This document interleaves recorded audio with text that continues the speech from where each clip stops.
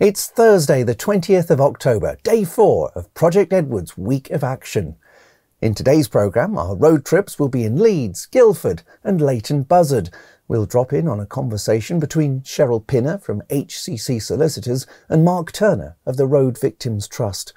We'll be hearing what makes safer roads and roadsides with information from Transport Scotland, and we'll try to find out how motorcycling fits within the SAFE system courtesy of Heidi Duffy and the Shiny Side Up campaign.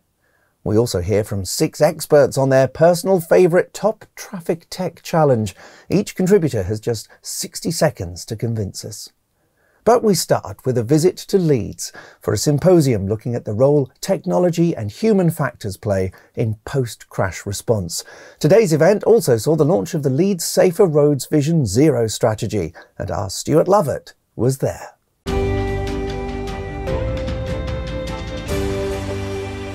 Hi, we're here at Leeds University in the centre of Leeds City, uh, where we are here for the launch of the Leeds Vision Zero strategy, uh, being launched today in support of Project Edward Week of Action. And we thank the Council, uh, the emergency services who have attended today, and everyone who is supporting Project Edward uh, this week.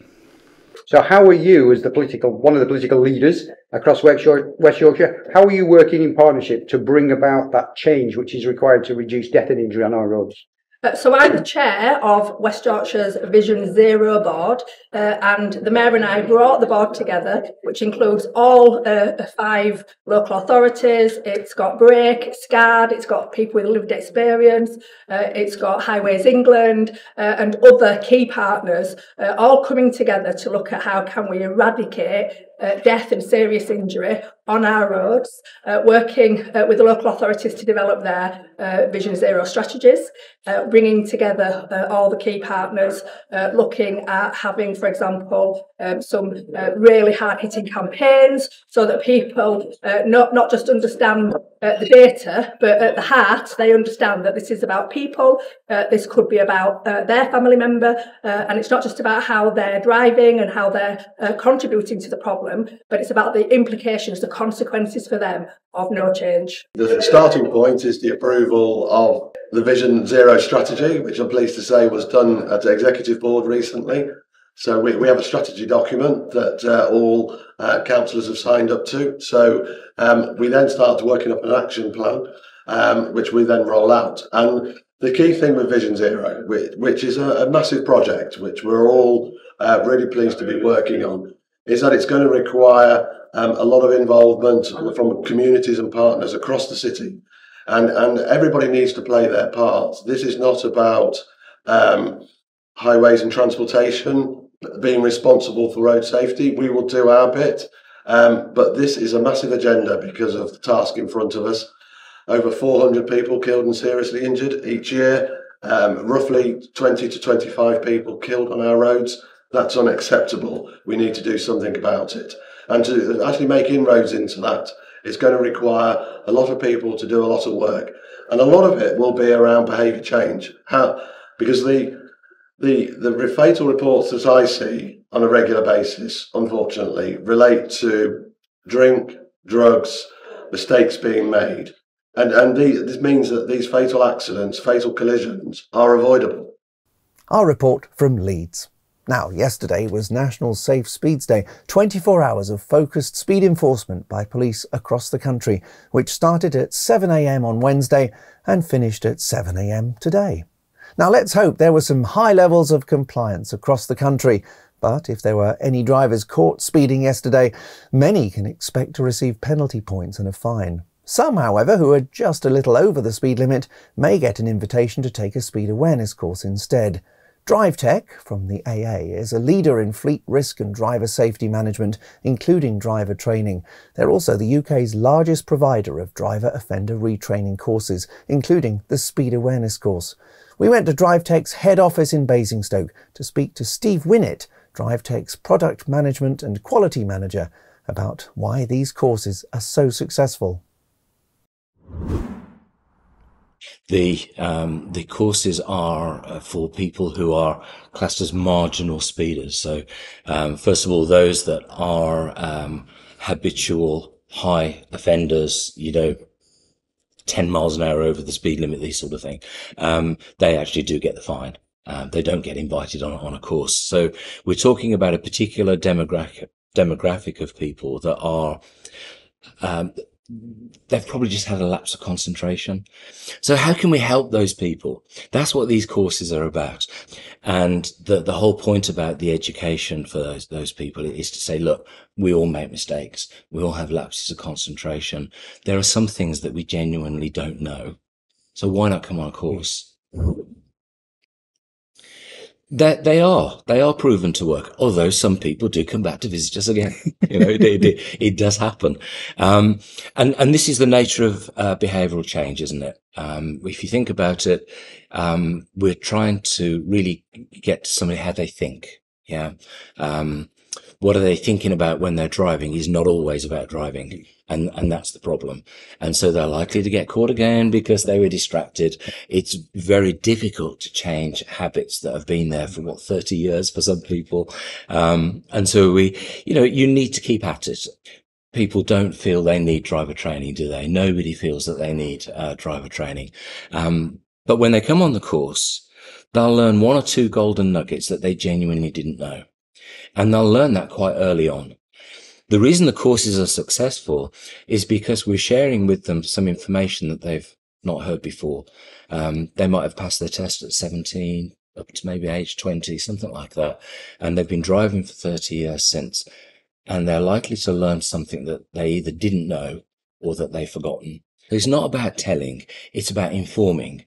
And so we try to do that right from the early stage. There's a little bit of Q and A. There's some quizzes involved in, in, in there and we get people to think, uh, really think about the subject.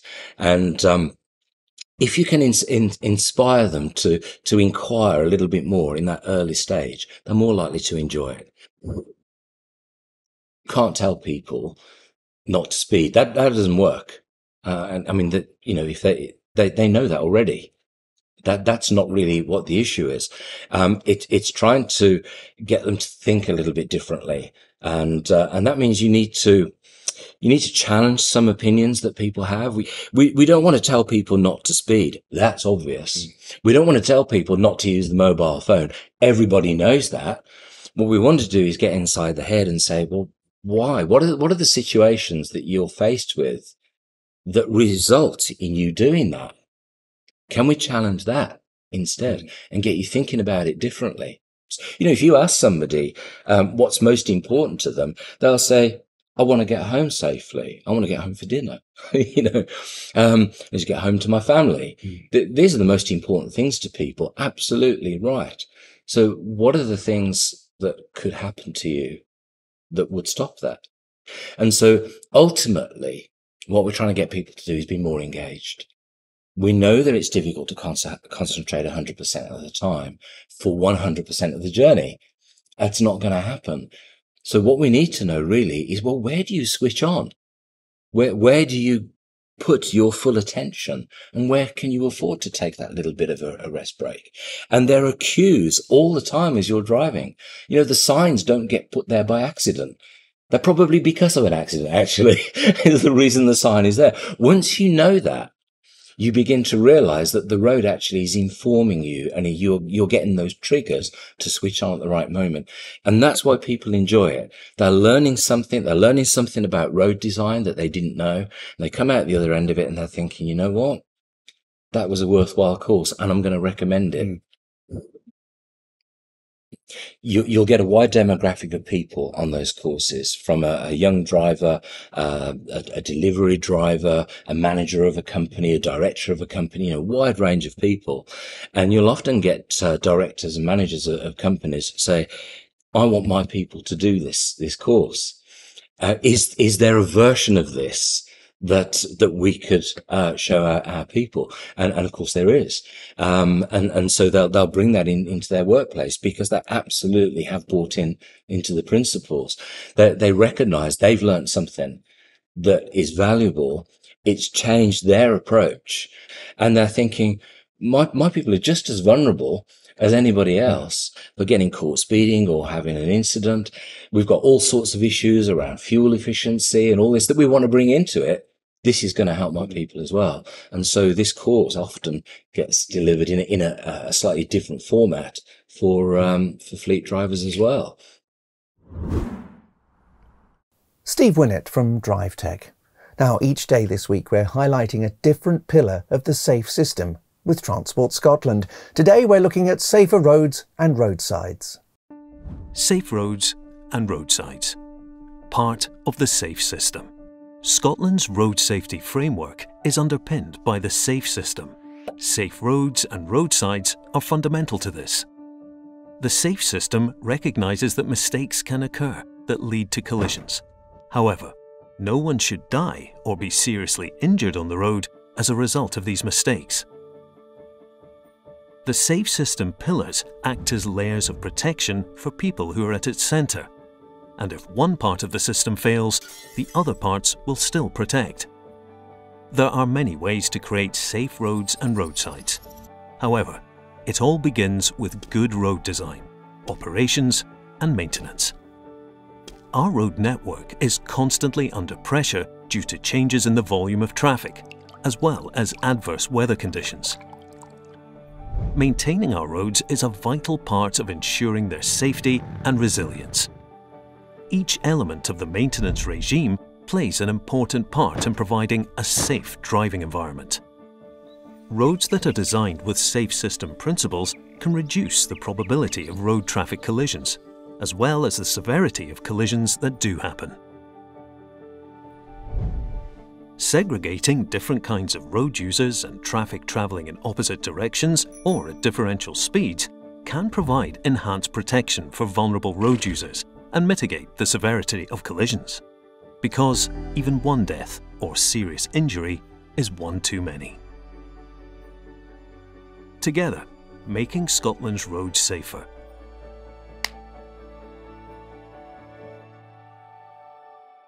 Safer Roads and Roadsides, the pillar from the SAFE system, as presented by Transport Scotland. Now, Project Edward wouldn't be possible without the support of our valued partners and sponsors. Our two sponsors today have been vital to our road trip. First up is Webfleet, who fitted telematics to the road trip cars for a feature we're going to be running in tomorrow's programme. They'll be followed by GridServe, who've supported the Project Edward road trip teams with complimentary access to their extensive EV charging network as we cross the country throughout the week. So this year, Webfleet are delighted to be the technology partner for Project Edward once again. Webfleet are all about improving driver behaviours through data and through insights. This year's theme of changing behaviours is an ideal match to our ideologies. This year we will also demonstrate how safer driving can lead to more sustainable driving and less impact on the environment for all of us. We look forward to taking part in this year again. Hello there, my name is Sam Clark. I'm the Chief Vehicle Officer at GridServe. We are delighted to be supporting the Edward campaign. Uh, two reasons really. One is while the guys are driving through the country in their electric vehicles, they will need to recharge their batteries. They will also need to recharge their own batteries at the same time, having a good rest on the journey. So that's a safe thing to do, and it's a good idea to take a rest while your vehicle is recharging. So best of luck guys, hope it all goes well. Project Edward is all about promoting evidence-led good practice in road safety which is the basis of today's featured initiative from National Highways. Simon Turner spoke to Deirdre O'Reilly, who's head of customer insight and behaviour change at National Highways, about the insight needed to unpin an effective road safety campaign and look at a specific example where research has driven the development of a new resource for fleet operators to improve vehicle safety checks. I'm here in Guildford today at National Highways offices, and I'm here with Deirdre O'Reilly, who's head of customer insight and behaviour change.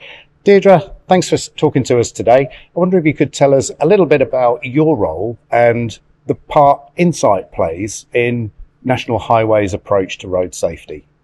My role is about using insights, be it market research, social research, or behavioural science, to really help us understand who our customers are, what they think, feel, and do. Because actually, what National Highways is all about is connecting the country.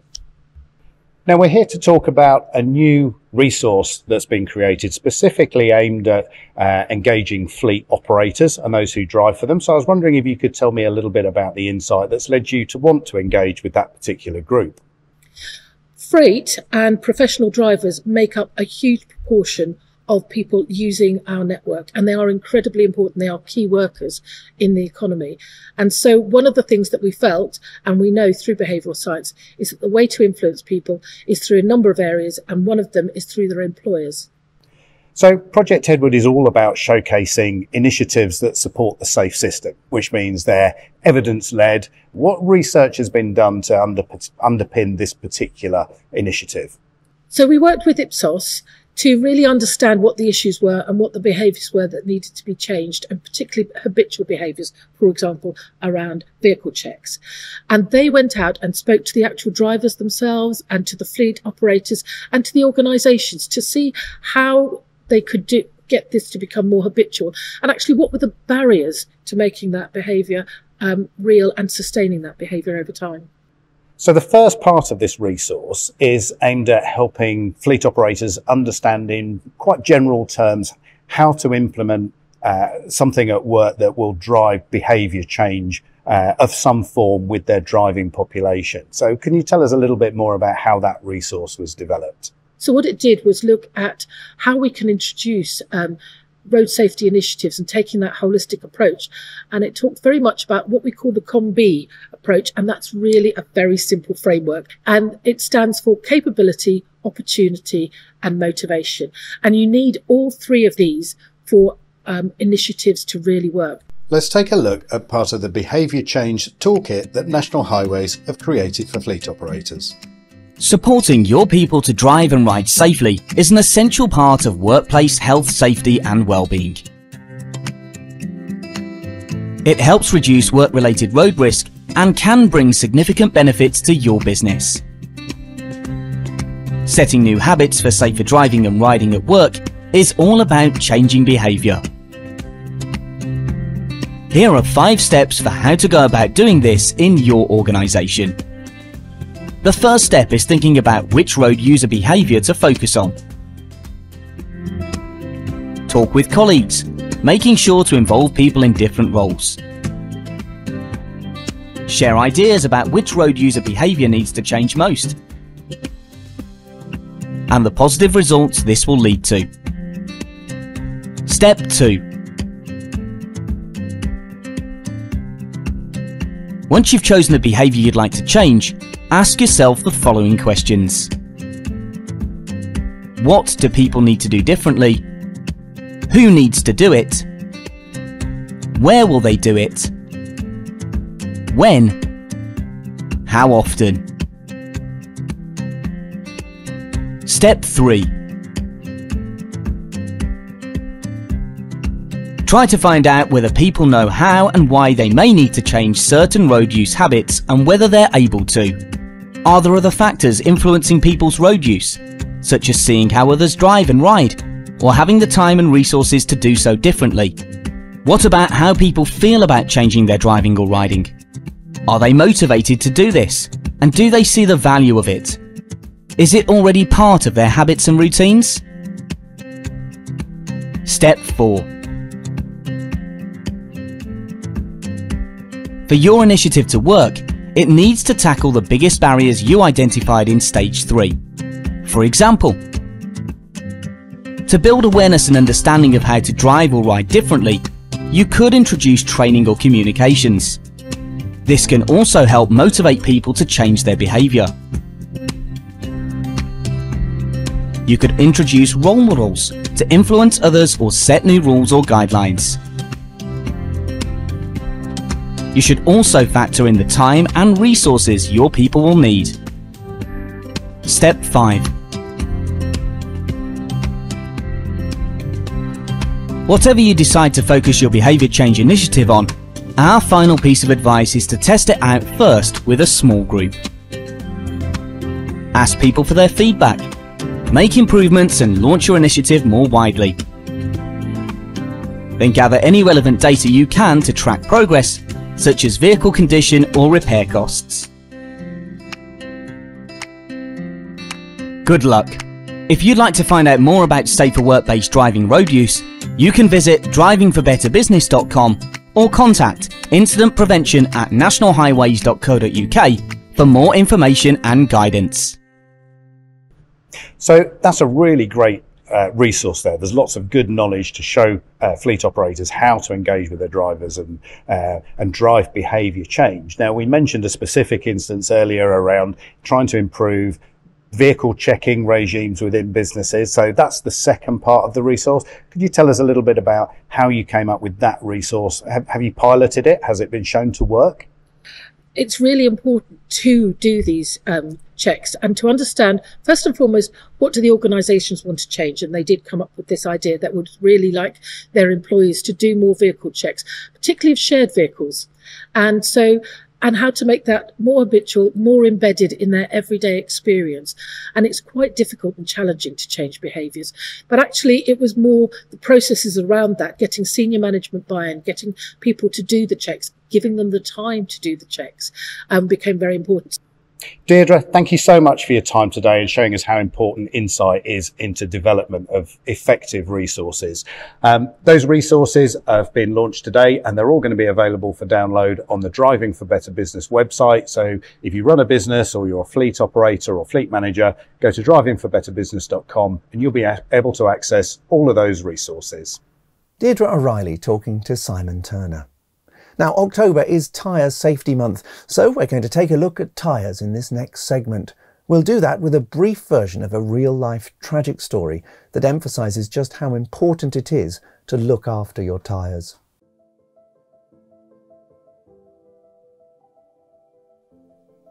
On Thursday, 20th of February 2020, 22 year old Megan Byrne was driving back to her hometown. Megan had recently qualified as a primary school teacher and was excited about the future. She had a fantastic spirit about her. Um, she had such a zest for life. Every single day she lived and she lived it to its fullest. Her character was absolutely wonderful. You know, she would she would fill a room. Um, she had a great presence about her. She was my daughter. She was a fantastic person. I loved her dearly. She had been staying with her boyfriend in Manchester and was on her way to visit some friends for lunch and then to see her mum. So she left at tea time to go to Martin's and she just said, I'll see you Thursday, mum, when I come to play netball. So I said, fine, no problem. It was raining with high winds. As Megan approached a left hand bend, she lost control of her car, crossed onto the opposite lane, and collided with a large family car. And um, I took my phone out of my drawer, and um, Courtney, her best friend, had, had messaged me, Joe, have you heard from Megan? And I, I wasn't worried, I just said, yeah, she's coming for a tea tonight. The impact of the crash was so severe that Megan died at the scene.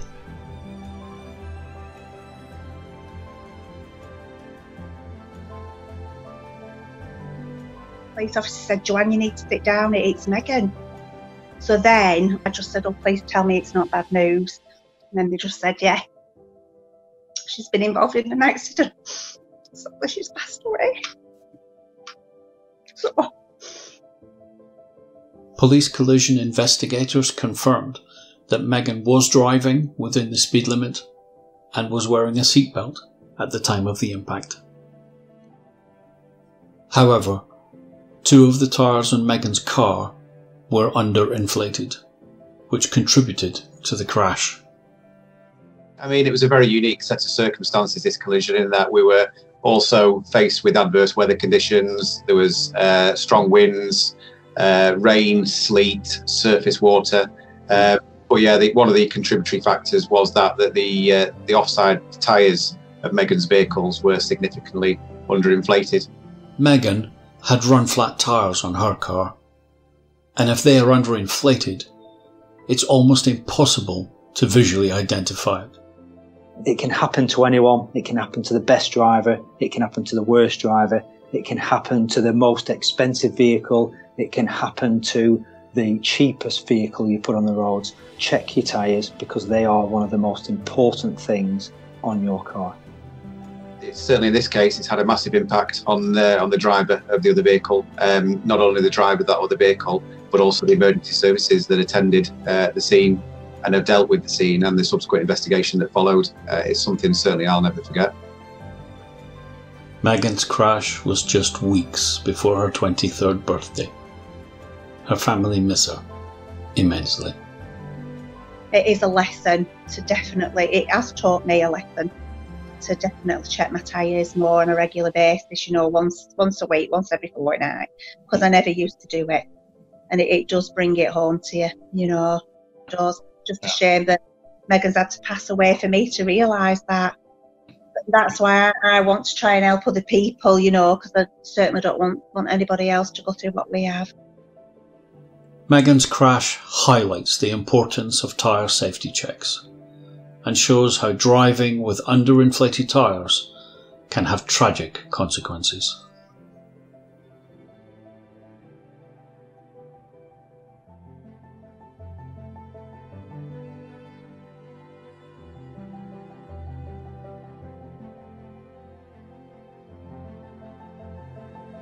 Don't rely on the tech. Go to all four corners of your car, put a gauge on it, and check it.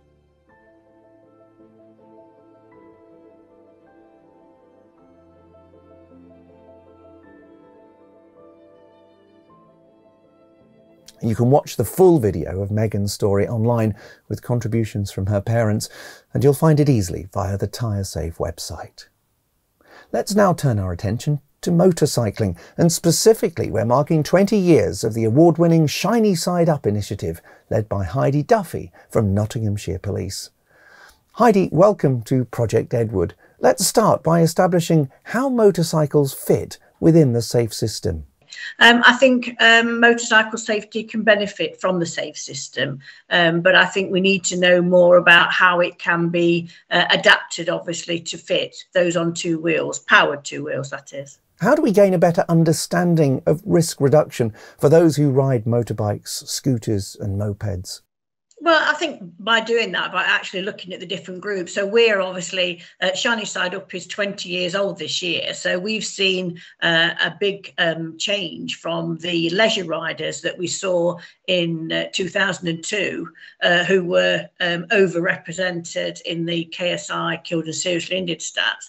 And now we're looking at um, commuter riders um, they're featuring, featuring far too high. Unfortunately, four wheels and two wheels don't always go together in the same road space. We've still got our leisure riders going out on a Sunday morning. We've also got the gig economy. So we've got, um, you know, young couriers out um, delivering food and, and shopping at all times of the day and night. So I think it's um, establishing all the different groups and then finding things to actually uh, engage with them and work out what problems they are facing and how road safety charities like Shiny Side Up and uh, National Rider Forum can can support them as uh, those on two wheels. 20 years of Shiny Side Up must have taught you a few things. Tell us more. Well, the first thing is that how sociable motorcyclists are. Uh, I mean, uh, you know, when we did go to events, obviously the pandemics, you know, sort of uh, uh, halted us on that. But when we did go to events, they're just such a sociable group. They're really nice to talk to. They're they're passionate about their two wheels. Uh, I mean, in 2002, uh, it was strictly a very short season for for the leisure riders, and they used to wrap up their bikes as soon as the weather looked a bit wet and a bit cold, and then of course they'd go away in the garage. Uh, safely wrapped up until the spring. But now uh, with global warming. Uh, we're seeing bikers um, using the bikes either for leisure, for commuting, for enjoyment uh, 12 months of the year. And that in itself brings new sort of challenges to us.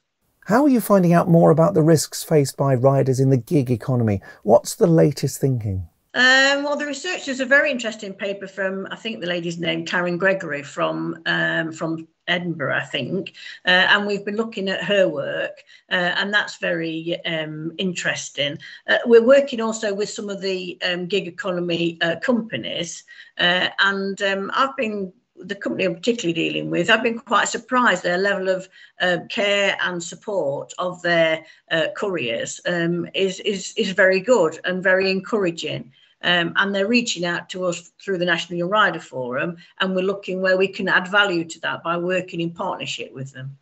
Adding value, what does that mean in practice? Uh, well, what we're doing at the moment is that we're um, promoting the Ride Free resource, which was the uh, sort of theory um, resource that the DVSA made. And we're working with one of the gig, uh, gig economy companies to make sure that's part of the recruitment process. So before they actually get sent for their CBT day, um, they will take the uh, Ride Free resource uh, and that hopefully gives them a bit more knowledge, uh, has a perception, observation, highway code, etc. So they're a little bit more informed before they actually get on the bike itself. Uh, so that's one thing that we're we're promoting now, uh, and DVSA are working with us to make it very accessible because uh, it is a free resource, very accessible to the young riders who are joining the uh, the gig economy, so they're they're a bit better informed before they actually go on the bike. Thank you to Heidi Duffy from Shiny Side Up. Now let's take a brief look at some fantastic footage from Scotland that forms part of its very smart Live Fast, Die Old initiative. We'll see one of four short but very scenic information videos for motorcyclists. Then we'll meet Ilias, Paul and Millie as they introduce the spectacular 80 mile ride in southeast Scotland known as the Devil's Beef Tub.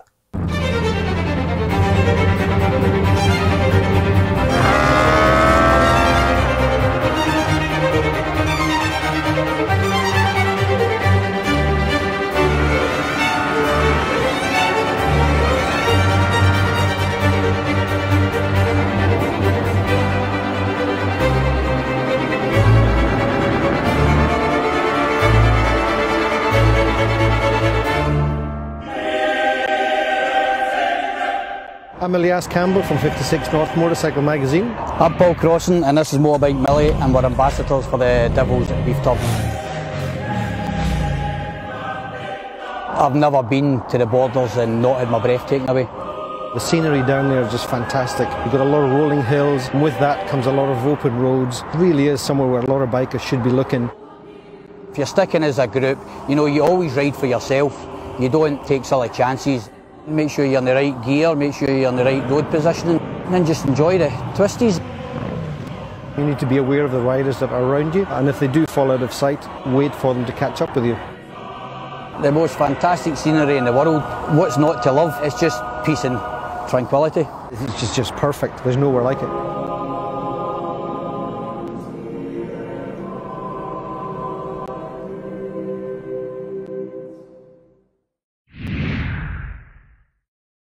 Smart thinking there from Scotland and its Live Fast, Die Old motorcycle initiative.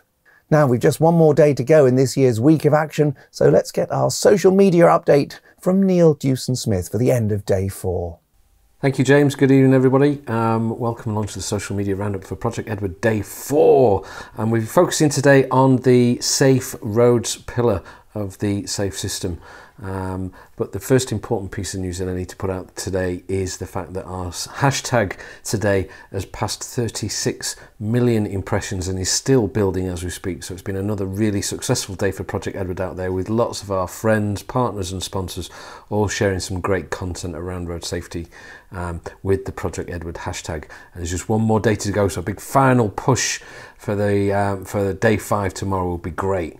Um, two tweets of note though for today. First one is from um, one of our partners, Webfleet News who put something out today because they've joined the team down on the road trip at Leighton Buzzard. And in Leighton Buzzard, it started to rain. Um, and so the team have adjusted their plan accordingly. There's an important message there around road safety about how you adjust something when the situation and the circumstances change. So there's rain on the road, the circumstances are changing. We've got to start thinking about lights, wipers, slowing down. Have we got all our lights on or are we just running on DRLs? lots of factors to consider around there. Um, and so the the Webfleet tweet said that the, the wet weather hadn't dampened their spirits and they were still um, fully enthusiastic for the day down there at Leighton Buzzard, but they changed their plans to fit. And it's an important message around road safety there is that you change and adapt your driving and your driving style to the conditions. Um, the second one is really a tweet from yesterday, but we only came across it today, and it's from the, the DVSA enforcement team. And they've shared an image of a load that they came across in Tamworth where um, poor loading uh, had taken place, poor quality infrastructure on the trailer, uh, then a webbing strap had snapped, but a huge coil of cable on one of those huge wooden bobbins came off the back of the truck and landed on the footpath. Um, if we're looking at safe roads today as a strand of the safe system, well, we've got to think about safe roads and safe vehicles on safe roads. And by definition, a vehicle that's not loaded correctly is not a safe vehicle. Um, great tweet. Quite easily, quite easily, uh, particularly with Every Day Without a Road Death Project Edward, this could quite easily have been a fatal um, incident um, if it had hit and struck somebody on the footpath. Um, so, a good reminder to us all that um, we need to be absolutely on point when we're looking at the safety of our vehicles and making sure that they're fit for the road. Um, other than that, though, great day for social media for Project Edward, and we're looking forward to day five tomorrow. Our final road trip report for today comes from Leighton Buzzard, where Bedfordshire Council and Fire Service have been talking to local drivers. Darren Lindsay went along to see what was happening.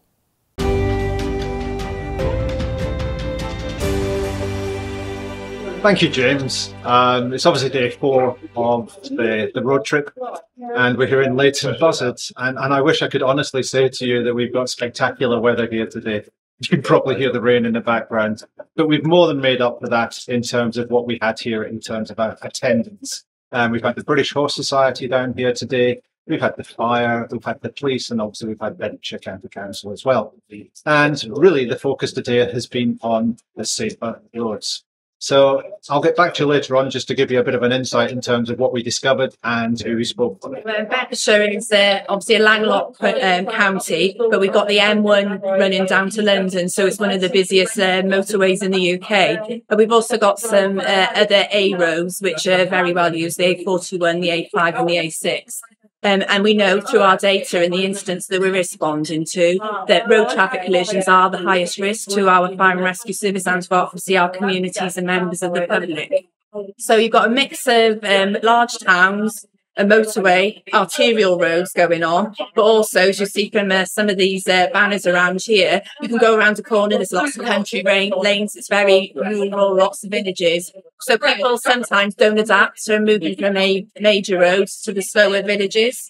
So, um, and obviously we can come across horse riders. There's a lot of that going on, tractors, farmers, and cattle being moved as well. So people sometimes don't adapt or are not used to driving in some of the areas in Bedfordshire. But I think it's working with all our partners, including Project Edward, to really get that message out there about concentrating only on your driving, making sure you're rested um, before you leave, and, and, not being under the influence of a lot of things. But I think the, the major thing that I see quite often is people using their mobile phones.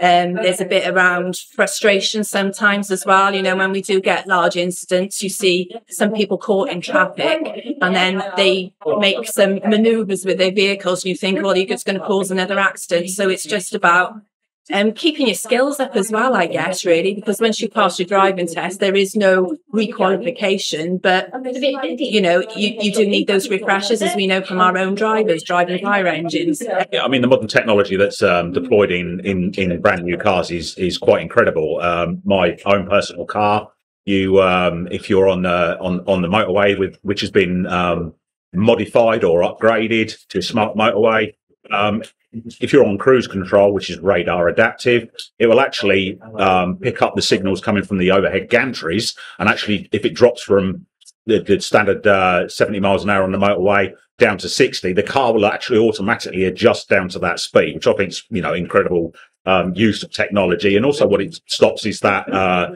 you know, the, what we call the, you know, the tsunami wave of um, backwards and forwards in the traffic of cars bunching up, this, that, and the other. So if all cars were deployed like that, you'd get a nice flow of traffic through smart motorway system. Why are people taking more notice about having this third set of on second pair of eyes inside the other? Um, I always say that you know um, that uh, a, a, vehicle parked on a driveway or parked outside a business, a van, a truck, whatever it is, is absolutely no risk to anybody until you put the human person in it. Now, human, you know, human uh, uh, are infallible people.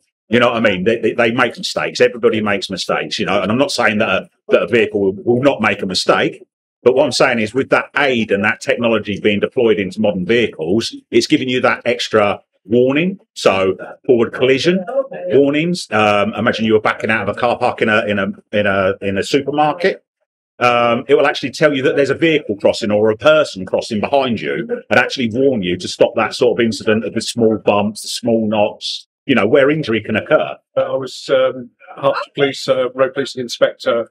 Spent a huge amount of my career doing uh, road death investigation and doing with, with more serious road traffic incidents, which is why after I retired, I wasn't ready to stop making a contribution. So I, am the only part-time member of the first staff on the team.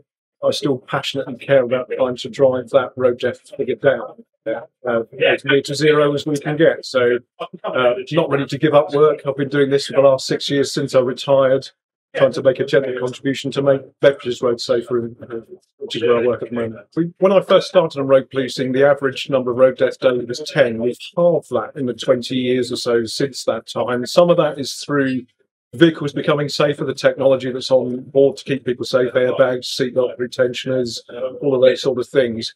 But there still comes a point where when you lose control of a car, there's a certain amount of energy put into the collision where the outcome is still going to be bad. So driver aids and all the things we've got to keep us on the road are ever improving and improving uh, the odds of uh, being hurt in a serious collision but we still need to work on you know the, the decision making interface as in educating drivers to make sensible decisions. So, you know, be good at dynamic risk assessment and basically assessing like, the, the conditions. Like on the drive here, it was torrential rain, thunderstorm. Um, you can you can spot drivers who are thinking about what they're doing because they reduce the speed because they're aware of the risk of aquaplaning. Vehicle lights come on and they drive appropriately to the conditions. But other people just rely um, basically think, you know, get lulled into a false sense of security and will barrel on when, if you were thinking about how you drive, you might think, actually, I'm going to take some speed off here because it's not safe to be driving at that speed. Um, just because there's a speed uh, limit, it's not, you know, it's not the speed you, it's always safe to drive at. You know, fog is an obvious one where people slow down. It may say that you can do 60, but you can't see far enough ahead to make that um, determination, people slow down. But you need to think about other aspects of driving, like um, uh, rain after a long drive period. There's oil on the roads, um, and every road policing officer in the country is the first day it rains after a long dry period. They're all busy because there will be accidents because people continue to drive without really thinking about how they're driving. Uh, so Mark Simantz, uh, Webfleet, Bridgestone company, um, and I manage our southern uh, independent uh, resellers, uh, so distributing telematics devices across uh, the southern part of the UK. Morning, Mark. Um, it's her fourth day of the road trip here with Project Edward and we very much uh, support the safe system. And one of the pillars of the safe system is of course uh, safer roads. Now we know that you are big in this game when it comes to the telematics and the installations and that. And we're sitting in a vehicle here today with one of your systems installed which is doing exactly what I've just said there. It's looking at the roads ahead. But not just that it's looking at the person that's driving on the road which will be myself or you uh, can you just tell us a bit more about this equipment and the trends that are going on out there, and more importantly as well, how it's interacting with the infrastructure to make our roads safer today? Yeah, absolutely. So uh, you're referring to the, the CAM 50 that we have installed in, in the vehicle there, and um, it has a, both a driver-facing camera and an outward uh, road-facing camera with a, an active screen which provides uh, in-cab alerts to the driver if um, we determine that they are distracted for any reason. So be it looking at their mobile phone, eating, drinking, smoking, etc. Um, and we find that by giving that real-time alert to the driver, they're auto-correcting their, their behaviour. Um, not only are we looking at internally within the cab, we're also looking at externally around tailgating as well. So if we're noticing that the drivers are becoming too close to, to a vehicle in front, again, they get a, a similar sort of alert. So we're finding that rather than moving away from penalising drivers, it's actually allowing themselves to self-correct their behaviour. Um, it's actually reducing the, the number of accidents and, and uh, involvement in, in, dangerous driving uh, through through that sort of behaviour. Now, it does also feed into the into the fleet manager's office, so they have visibility of that. But nine times out of ten, the drivers correct themselves, and, and it, it doesn't become a problem that needs to be sort of investigated further. So one of the things about the infrastructure thing, and we've experienced it this week, is this range anxiety. But more people are moving across to actually say, about giving you range confidence there. Well, why do I bring this point up? I, I think it's important because we want safer users on the road, um, which will obviously lead to safer roads as a consequence of that. Um, maybe you could tell us a little bit about what's happening there to sort of uh, occupy that space so it does become safer in terms of the technology. Yeah, absolutely. So we're approaching it from from two directions. So the first is around um, providing what we call a fleet electrification report. So it essentially provides insight um, to a fleet manager on their existing ICE vehicles as to which of those would be suitable to be moved over based on their sort of average daily driving distance. So so as soon as the drivers get into the electric vehicle, they're starting from a position of, of confidence rather than anxiety because they know that the, the the insight has been there. It's been an intelligent investigation made, and a decision has been made based upon that. Maybe only 20% of the vehicles have been moved over because the rest of the vehicles is not appropriate. Um, and then on the other side, we're looking at the infrastructure We've plotted the infrastructure on our platform, but in addition to that, we're providing real-time information to both the drivers and to the, the, the fleet uh, managers on the uh, type of charger, um, the, the, the, plug type that's required, um, whether it's available, whether it's in use. Um, so again, we're, we're moving the drivers towards a position of confidence where they're actually able to think about the driving as opposed to whether they're going to get there before they run out of juice. So we've had a, an interesting few hours here in Leighton Buzzards, and once again, we've taken just a moment to reflect on the day's activities. And a number of things I'd obviously like to share with you today. Um, we obviously had a, a, visit from the, the Assistant Chief Fire Officer from Bedfordshire.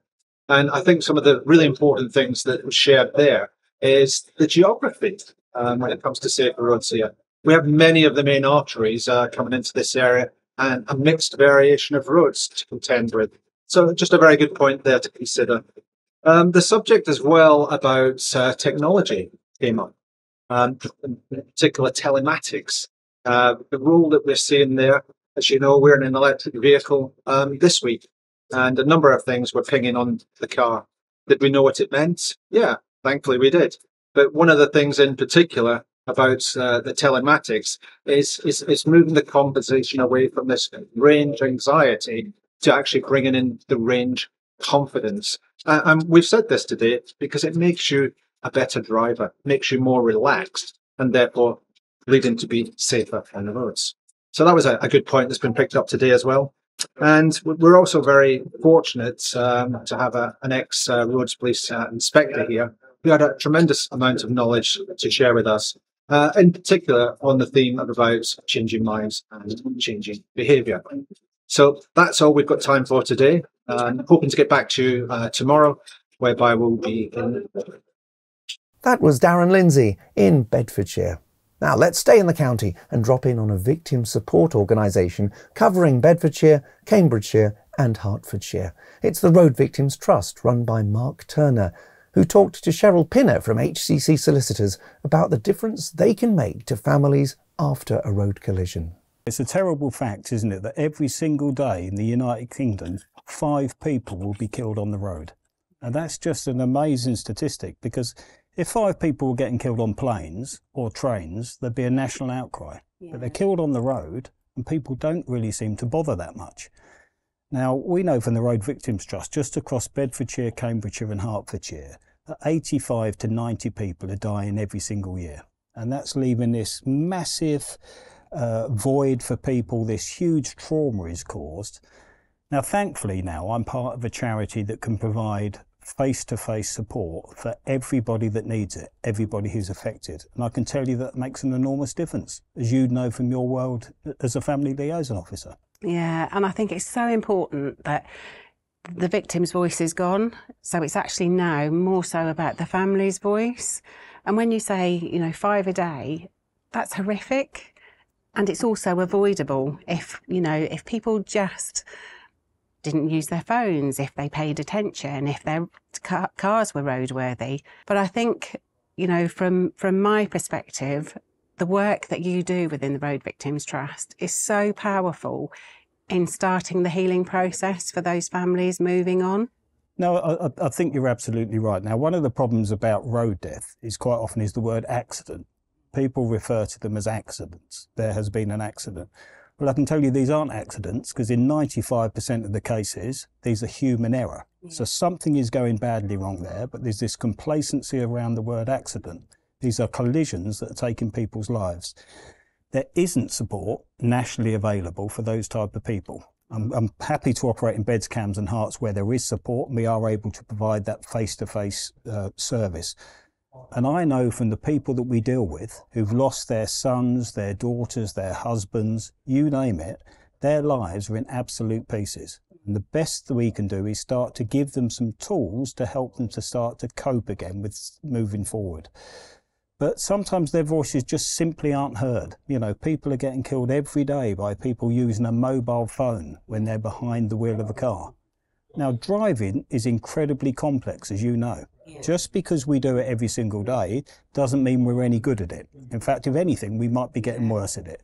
Yet people think they can then add a mobile phone to that complex mix and get away with it. And mm. look at the consequences. Absolutely horrendous. Yeah, and I think, you know, we're talking about death, but actually sometimes I think the life changing injuries, if they survive the collision, they are catastrophic as well. And then again, it's the family's voice that needs to be heard, thinking about the changes to their life, looking after their loved one, the impact of all the medical interventions and things like that. So lots of times I, in the police, I can remember thinking I'm really good at questioning, but sometimes I used to think and reflecting back, was I so good at listening? And I think that's absolutely one of the skills that you at RVT can give, that you listen to their voices. And, um, I, I, and I think that's quite unique in that you have the face to face, which I think is, it's massive for somebody who needs your service. They don't want to do it over the telephone. They don't want to do it via Zoom. They actually want that personal intervention because it's about somebody they cared for, somebody they love. And I think, you know, what you offer is massive in the beginning of their process of healing. Yep, and we know that that early intervention, if someone has lost a loved one, that early intervention is absolutely crucial. Working in conjunction with the police, because every time there's a fatal or life changing collision, the one authority that's going to be there will be police yeah. officers. And if you can form a relationship with the police officers who can share some of that workload, and then we can use our expertise to help the people have a voice and start to work to different things there's a huge amount of great work going on out there. Yeah, there is. You know, Project mm. Edward. Look at Project Edward. What's that? What that is striving to achieve. Look at the road safety partnerships. Look at the Vision Zero. Look at the safer systems. The answer lies in technology and engineering, education, a little bit of enforcement. But everybody's got a part to play in that. Mark Turner was in conversation with Cheryl Pinner. Now it's time for part four of the Driving for Better Business feature on engaging local businesses in work related road safety. One of the most common challenges that local road safety practitioners have is continuing to engage business owners and directors after that initial contact.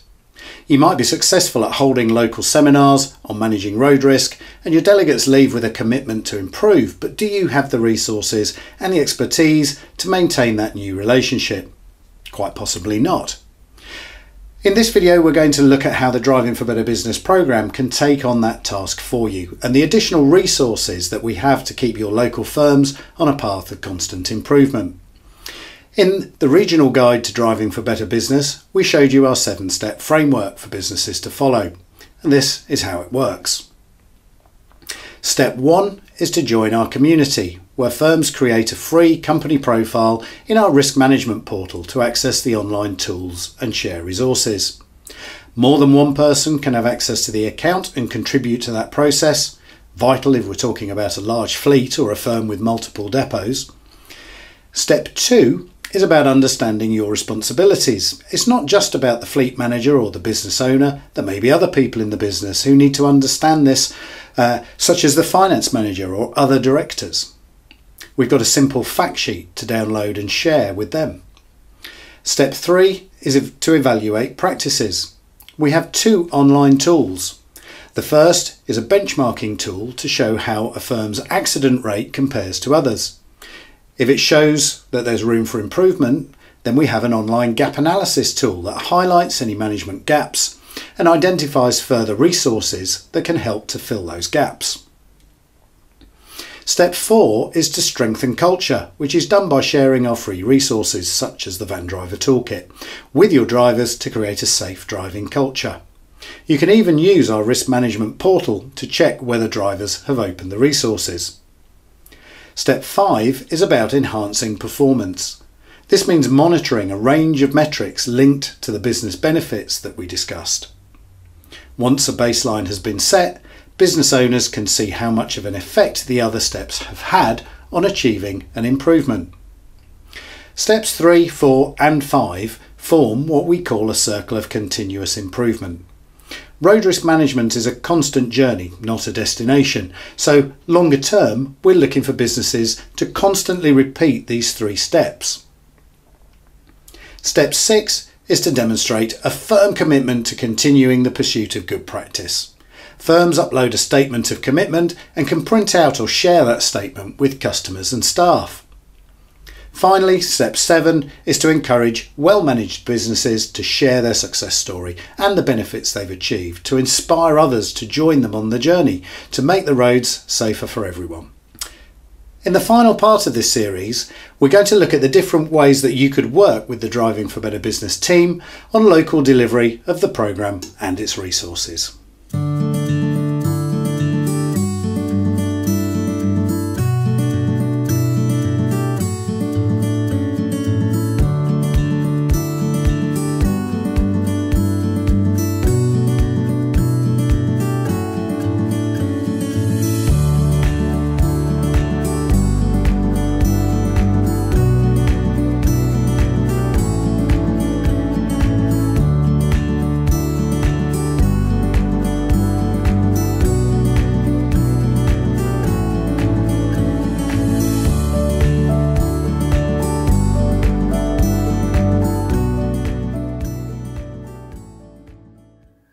Yesterday, while the Project Edward road trips were crisscrossing the country, there was an event going on in Birmingham.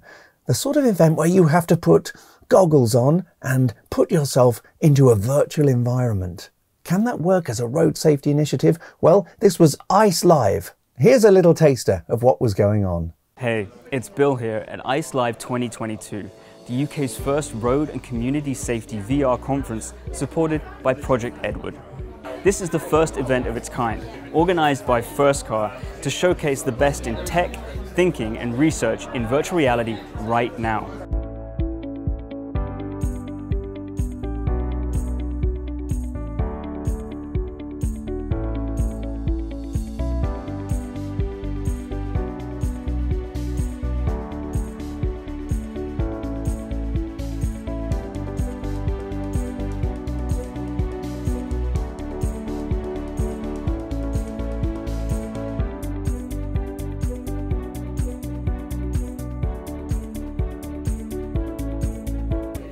UK's first VR road safety film was produced five years ago, dozens of organisations and authorities have been investing in this exciting technology. ICE Live brings all of these people together in one venue. Finally, in today's programme, we're introducing six people who each have 60 seconds to persuade you to vote for their chosen top tech challenge. They contributed to a recent UK ROED webinar where there was live audience voting. We'll tell you the result at the end, but you're of course entitled to form your own opinion on which of these six systems and concepts gets your vote. Pitch number one. Hi, I'm Elizabeth Box, Research Director from the RAC Foundation, and I'd like to nominate Telematics Insurance for the Top Traffic Tech Challenge. Research has found that prompting people to self-monitor their behaviour and providing them with feedback on their driving performance helps to deliver road safety benefits. In-vehicle data recorders provide this, as well as economic consequences and incentives to further encourage safe driving behaviours.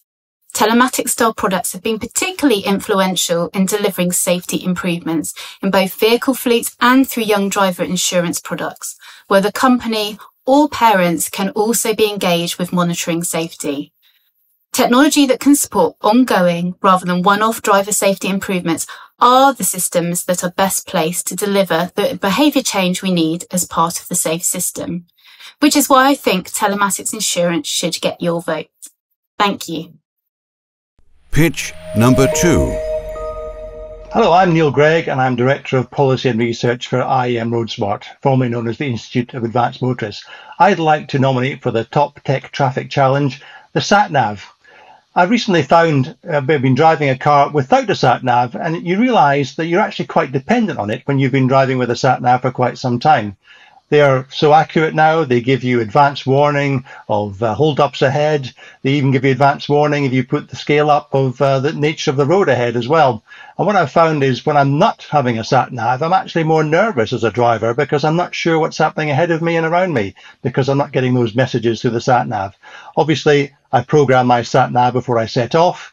But it, the fact that I'm getting a countdown to when I'm going to arrive, I can tell people when I'm going to arrive. I just feel the sat nav allows you to be much more relaxed as a driver and concentrate on your driving, which as an advanced motorist is obviously the thing you should be doing anyway. It gives you the full you know, width of uh, attention to actually concentrate on the, the, the, the traffic around you because you know that the sat nav will tell you of delays and you also know when you're going to arrive. So I, I'd say vote for the sat nav. Pitch number three. Hi, my name is Florian Petit and I'm the co-founder of Blickfeld, a company producing cutting-edge LiDAR technology.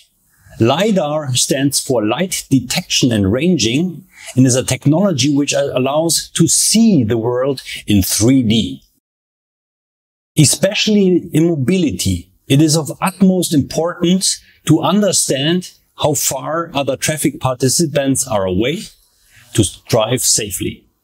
That is the reason why already today almost every autonomous test cars has LiDARs deployed. And I believe that in the future, every car will use LiDARs, for example, for advanced driver assistance systems. LiDARs are not only limited to cars, but can also be deployed in the infrastructure to, for example, find the next empty parking spot or optimize the complete traffic flow of cities. Pitch number four. Hi everyone, I'm Shaun Helman from TRL and I'm nominating the driving test for the Top Tech Challenge. Uh, the driving test has influenced the formative behaviour of drivers more than anything else. Put simply, if something is in the driving test, people are much more likely to practice it. For example, the introduction of sat-navs in 2017 stimulated over 95% of candidates to practice this in their lessons. And the addition of hazard perception testing in 2002 convinced candidates to practice this critical skill and reduced collision risk in test passes. Now, the test is not perfect. For example, it cannot assess how risky people might be when not under the scrutiny of an examiner. However, we can improve it, and the content in the test, which we can and do change over time, makes it clear to people what needs to be practiced to enter the driving population. And candidates and instructors change their behaviour in response to this test content, making the driving test for me the perfect behaviour change intervention and opportunity in road safety. Thank you. Pitch number five. Hello, I'm Edmund King and I would like to nominate the seatbelt for the Top Traffic Tech Challenge. Why the seatbelt? Well, it just saves lives and it always has. DFT claim it saves 2,000 lives a year. Rob Gifford back in 2005 when with PACTS claimed it had saved 35,000 lives over the previous 25 years. So it saves lives and it could have saved more. Diana, Princess of Wales, died in one of the most talked about and tragic crashes of all time. If she'd worn a seatbelt, she could have survived. That was the finding of Lord Stevens, ex-commissioner of the Met Police. Yes, driverless cars and future technology will help. I've been in a driverless car without a seatbelt. It stops suddenly. It threw you forward. You still need seatbelts. So vote for the seatbelt. It will save lives. Thank you. Pitch number six. Hi, I'm Graziella Jost from the European Transport Safety Council, and I'd like to nominate Intelligent Speed Assistance, ISA, for the Top Traffic Tech Challenge. Driving too fast both increases crash risk and crash severity. Intelligent Speed Assistance is a fantastic technology that helps drivers keep within the posted speed limit using a combination of GPS, digital maps, and camera reading signs. The good news is that uh, ISA is mandatory on all new vehicle types sold in the EU as from July this year. The bad news is that the UK so far has not put in place the same safety requirements. And this is, it's a shame because the UK was closely involved in the research around the ISA benefits with Leeds University and Transport Research Laboratory did the analysis for the European Commission um, that led to the adoption of the safety uh, requirements. So come on UK, get a move and mandate ISA on all new vehicles. And to all of you in the audience, please vote for intelligent speed assistance as a top traffic tech. You know it makes sense. Six compelling presentations, but only one winner, which in this challenge was the seatbelt, closely followed by black box insurance telematics. And thanks to UK Road for use of that footage.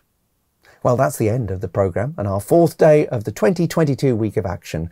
Thank you to everyone who helped with today's events. And thanks to our partners. Thanks, of course, to you for watching. Tomorrow will be the final day of this year's road trip and the teams will be visiting Durham, Warwick and Gloucester. I hope you can join us then for our last programme of the 2022 Week of Action. But for now, from every member of the Project Edward Week of Action team, it's goodbye.